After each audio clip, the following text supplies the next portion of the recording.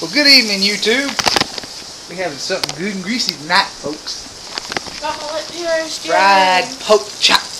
I made them. You see the poking and you see the chopping. Fried poke chop. I made them. And then we're gonna have us some whole cone of corn and some sweet peas and some Coca-Cola. We're gonna good in the neighborhood. I got my lip pierced. and she's a goddamn lie. That my sister, Stormy. Yeah, she's a lie. Don't let her fool you. She's a big lie. I would say something right now, but you couldn't put it on YouTube. But What couldn't I put on YouTube? There ain't a damn thing I can't put on YouTube. fuck you.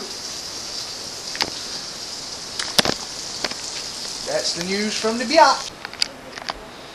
Well, this is how I relax after a stressful, however long it's been since my truck broke down, Christmas Eve month. So, hopefully pretty soon, I'll be getting my parts and I'll be able to be on the road again.